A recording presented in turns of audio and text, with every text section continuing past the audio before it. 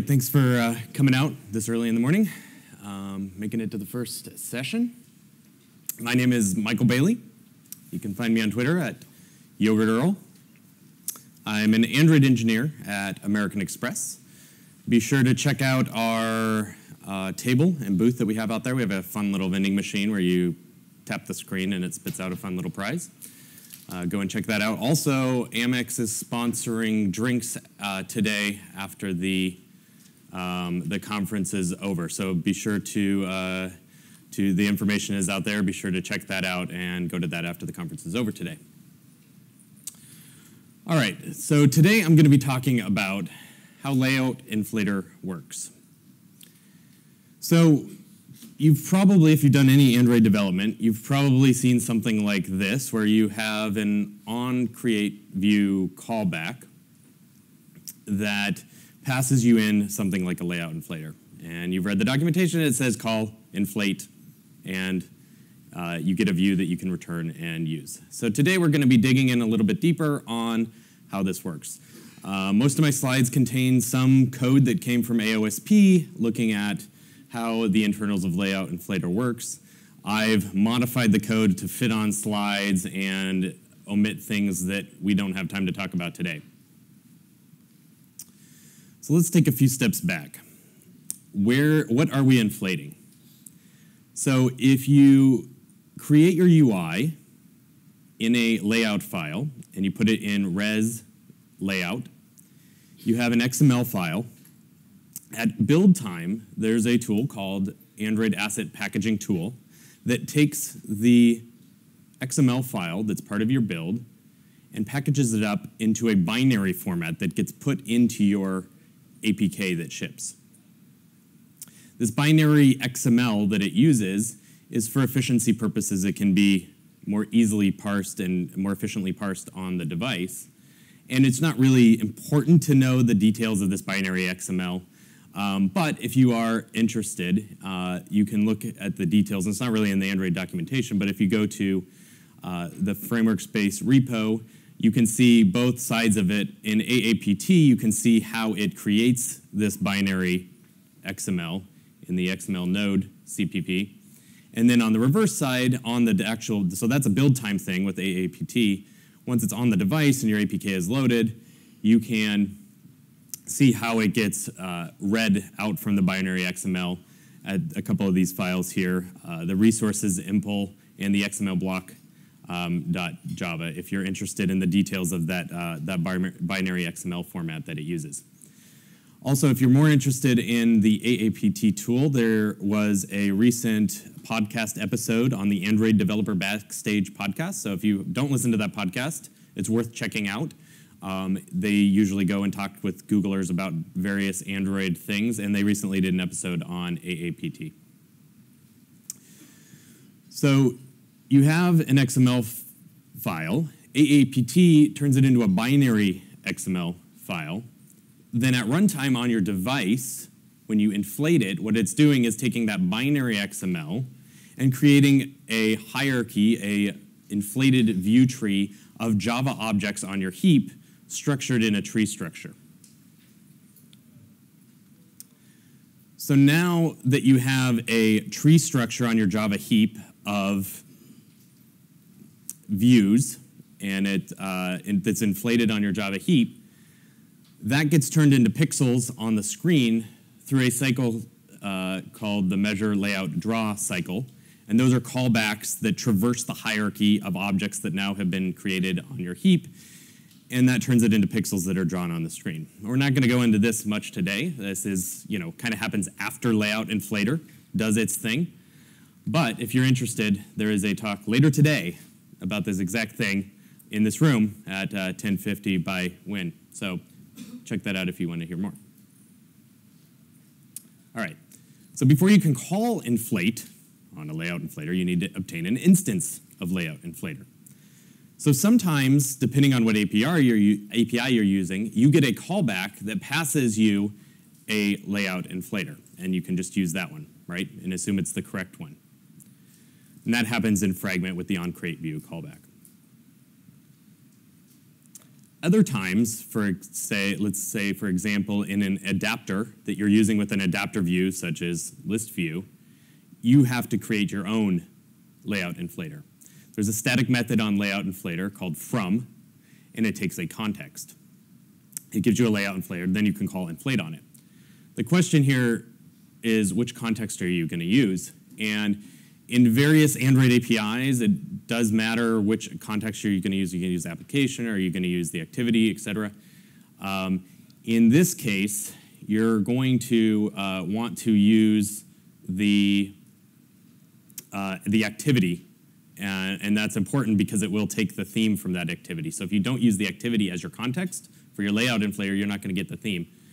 Um, there's a great blog post uh, by Dave Smith about the context and all the various APIs that take context and where it's important and what the implication of using which contexts are. Um, it's uh, you know that could be a whole talk in and of itself, but there's a great blog post. Um, but for layout inflation purposes, you want the activity if you want your themes to work correctly. All right, so inside this layout inflator dot from method, it takes a context. Well, what does it do with the context?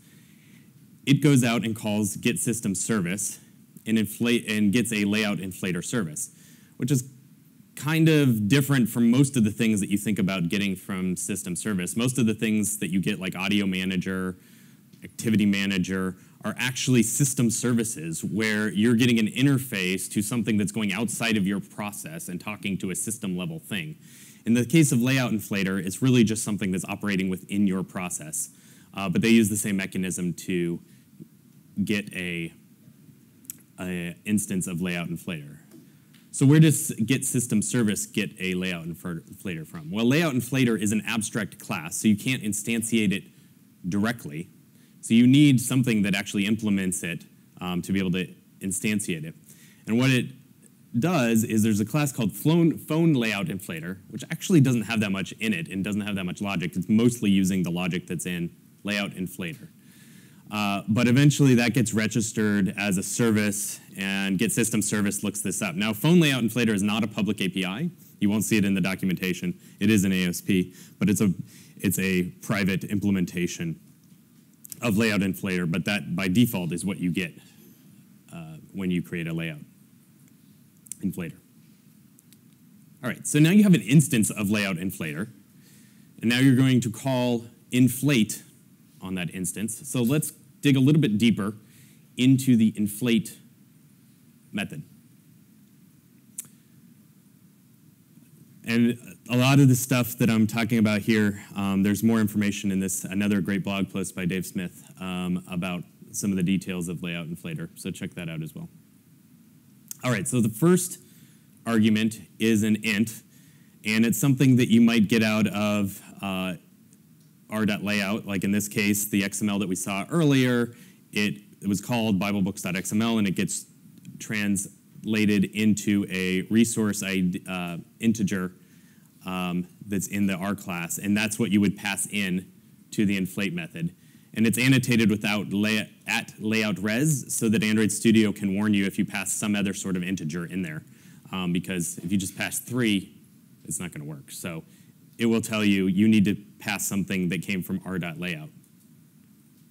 So what does it do with this resource uh, that you pass in? Well, it in turn calls resources.getLayout with that resource and this activates the whole resources flow where it looks at the current configuration of your device, whether it be portrait or landscape, and it looks at all the possible um, layouts that could match, and it picks the layout that matches your current configuration. So you may have multiple versions of the BibleBooks.xml, and based on portrait or landscape, the whole resources system will go through your uh, your layouts and pick the right one for that configuration. So that happens right in this call of resources.getLayout.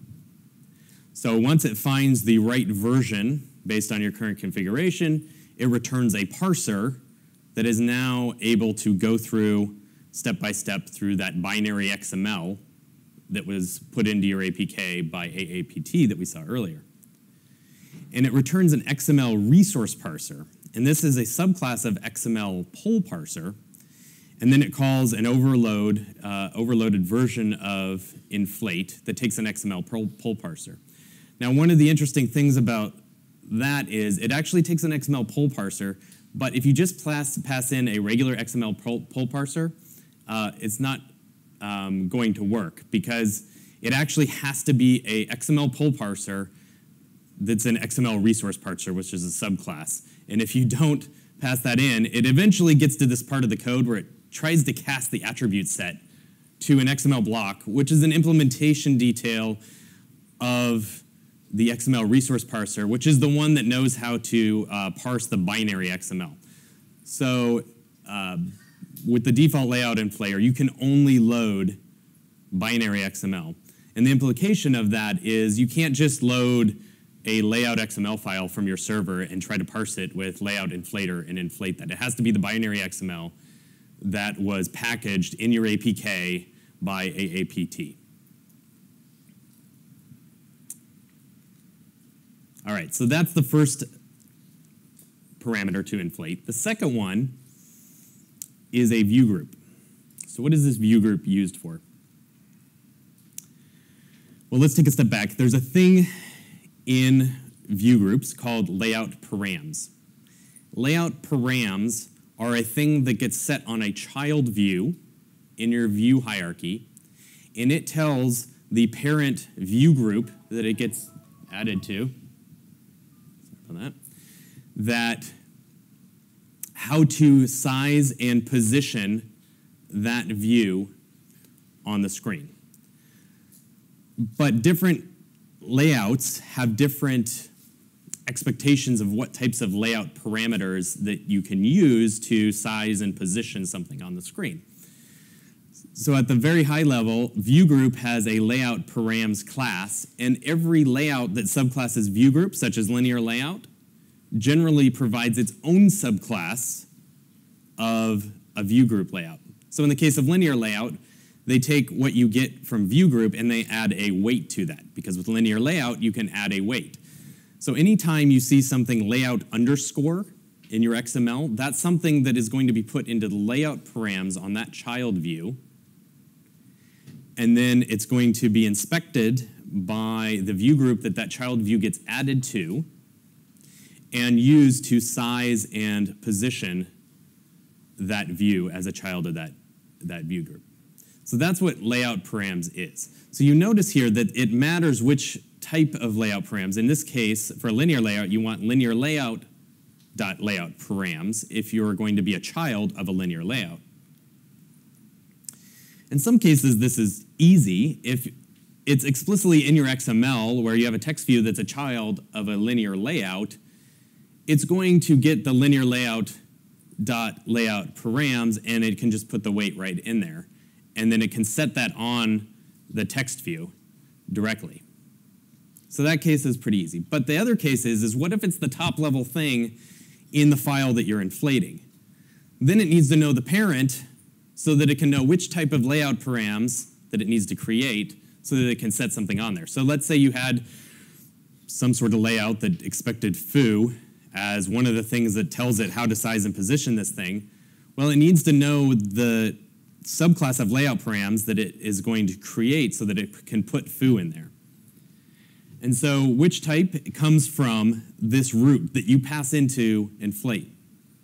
Because it's going to call root.generate layout params, which creates the right type. So in the case of linear layout, it calls new linear layout layout params, and that's how it generates the params. So when you pass in a linear layout as the root, it calls this method and generates the right subclass of layout params. So that's why it's important to pass the view group that this thing is eventually going to be added to as a child. You want to pass that as the second parameter of inflate. So what if you just left it null? Like, I'm, don't attach it to a root for me. I'm not going to give you anything. Well, you eventually just get this default layout params, and it's not going to know about all the things that you wanted to tell it about how to size and position your thing. So it, things are going to not work the way you expect them. The third parameter is attached to root. So the second parameter is this view group that is used to determine which subclass of layout params you need, but with the third parameter attached to root, you can say, actually attach the thing that you just inflated, attach that to the root that I gave you for me. And it does an add child on the inflated view tree with the right params. If you say yes to attach to root, if you say no, then it, it just uses the root to inflate the layout params um, and it doesn't attach it. It doesn't do add view on the root. So we went through the three parameters to inflate, but what about the thing that it returns? This is kind of a thing that's always been confusing and hard to remember for me, is what view is it actually returning? To me, it would be intuitive if it returned the thing that it just inflated, always. But it doesn't always just return the thing that it inflated. Depending on whether or not the thing that you inflated got attached to a root, it depend it will if it did get attached to a root for you, it did the add view, then it actually returns the root that it just attached to, not the thing that you just inflated. But if it doesn't attach to a root, then it returns the thing that it's just inflated. So you're either getting the thing that you just attached to or you're getting the thing that you just inflated, depending on whether you had it inflate, which can be very confusing and surprising. So something good to keep in mind, although it's kind of hard to remember when it returns one and when it returns the other. All right, so we kind of talked about what this method actually does. Let's talk about how it actually loops through and creates this, inflates this view tree internally. So it has this recursive inflate uh, algorithm that it uses. Um, it's a fairly standard tree, tree uh, traversal. So it goes in and it starts at the top and it creates a view from the tag. So it looks at the name of the XML element at the top and then it calls into this create view from tag. So let's look at what create view from tag does. So in create view from tag,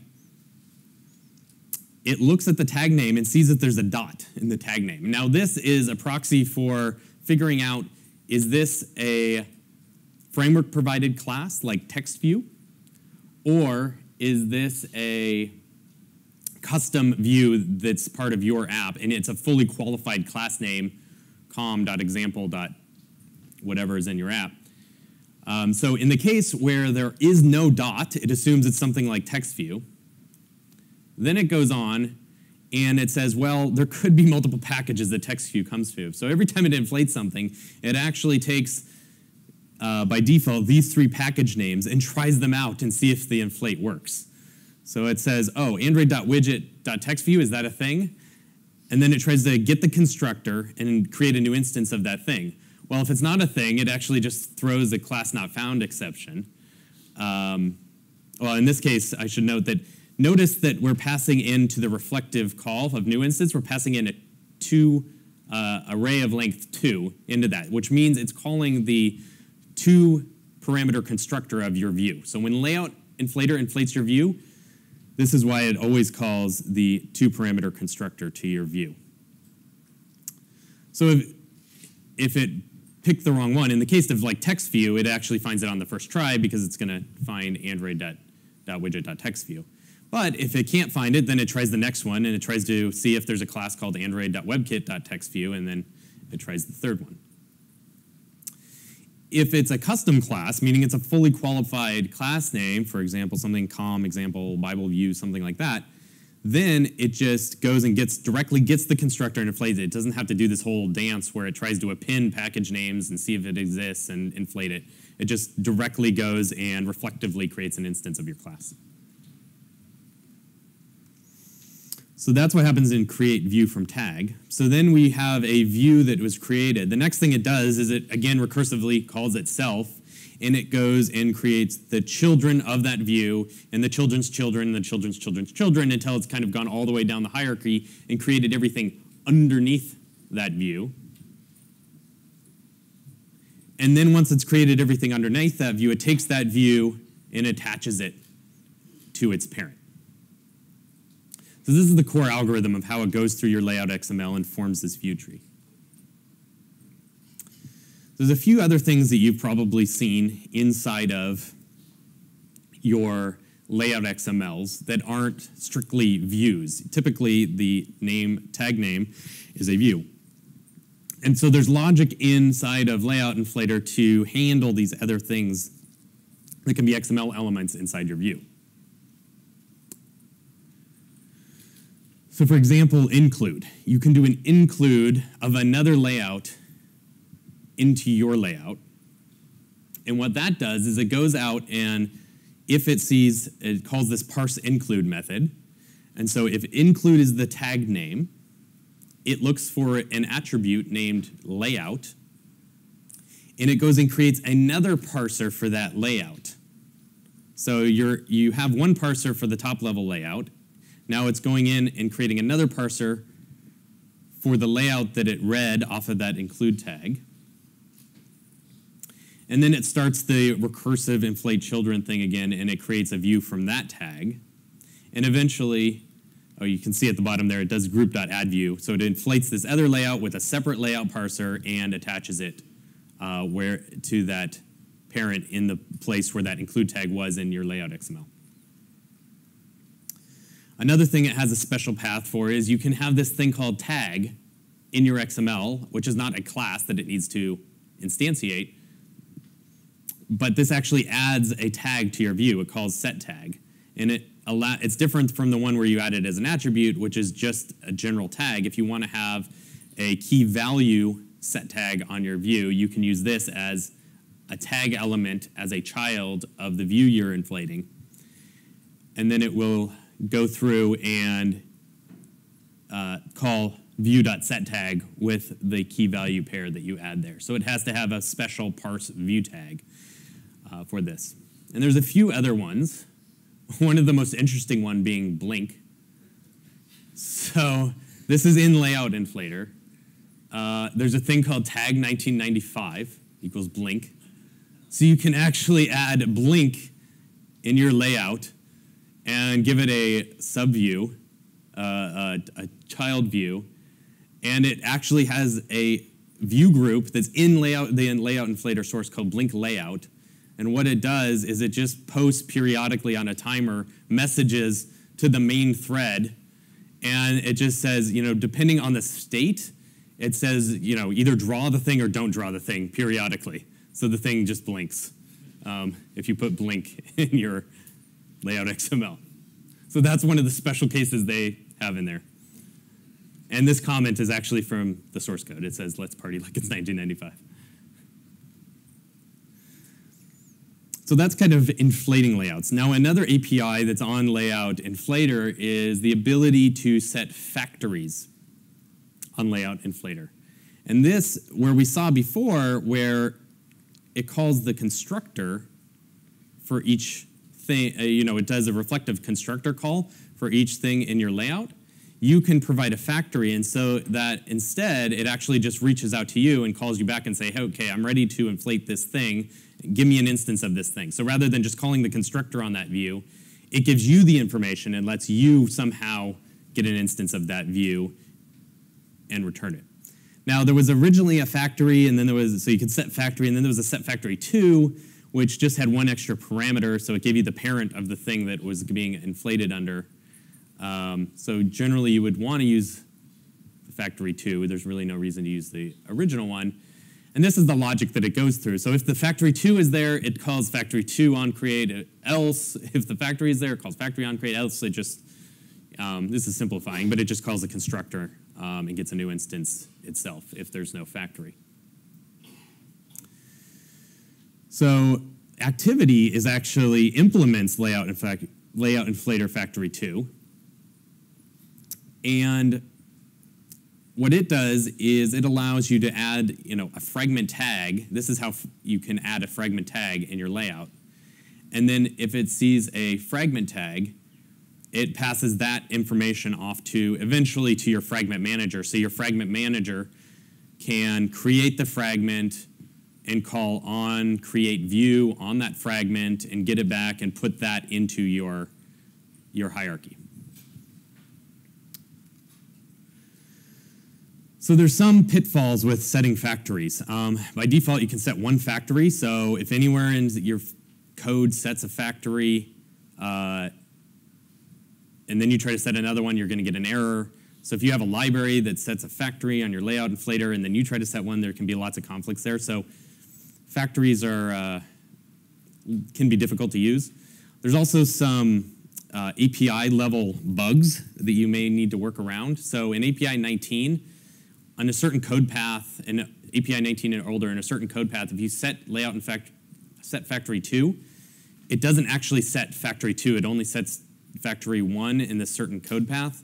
But if you use the layout inflator compat.set factory to set factories on your layout inflator, it has a workaround for that bug. So if you're going to use factories, I highly recommend to use layout inflator compat set factory to set the factory uh, because it has workaround for current bugs that are known, and I'm sure if there's more in the future that it'll be added there. So use this if you want to set a factory. And this, in this way, it has it actually has its own interface which matches factory 2, so you don't have to worry about factory or factory 2. The support library simplifies things if you use this method. So the support library, if you're using an app compat activity, installs its own view factory uh, using the app compat delegate. And the app compat uh, it has a thing called app compat view inflator, um, which kind of serves two high-level purposes. One, if it sees a text view, it actually swaps out automatically from your layout inflator app compat text view. So if you see, oh, I said text view my thing, and you're using app compat, and then you look in um, some tool that's inspecting your your view tree at runtime, you'll see app compat text view. This is how that gets swapped out because app app compat has a factory that swaps this out. And the reason for these subclasses is this allows um, them to do tinting um, in a way that works uh, consistency, uh, consistently across API levels. So these subclasses that they swap out for you um, do the tinting. And also by doing their own um, view inflator, it allows them to, uh, it allows AppCompat to support putting a theme directly on your view. That's also done um, via this factory that they install through AppCompat.